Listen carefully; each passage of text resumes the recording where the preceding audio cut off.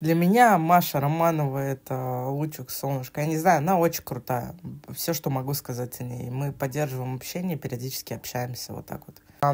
Во-первых, смонтировали не так, как было. Я задала Любови Розенберг вопрос. Я говорю, вы спрашиваете про момент сейчас или про будущее, когда, ну, типа, был вопрос, в чем заключалось счастье. Она говорит, я спрашиваю в моменте сейчас, а показали это, вот это счастье в всей моей жизни. Я вот родилась и мечтала о золотой буроше. Блин, серьезно, ребят, мне кажется, это, ну, просто бредятина какая-то. Типа, да, я расстроился, но не настолько, чтобы это все мир сломлено, окончательно, все плохо и так далее. На проекте на меня из них никто не гнал, ни Мила, ни Лиза, ни а, другая комната.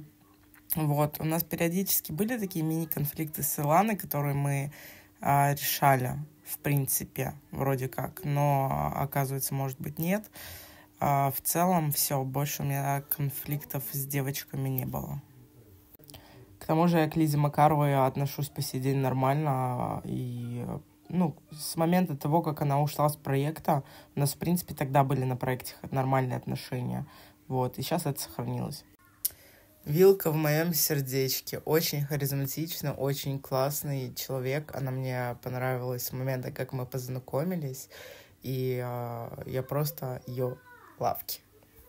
Если оценивать Свету как человека, с которым я бы познакомилась вне проекта, э, ну, она хорошая девочка, правда. Реально крутой человек, вот.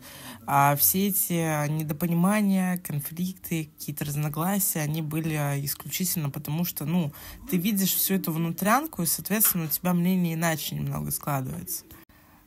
Со Светой мы не общаемся сейчас, я к ней нейтрально отношусь, в принципе. Вот так.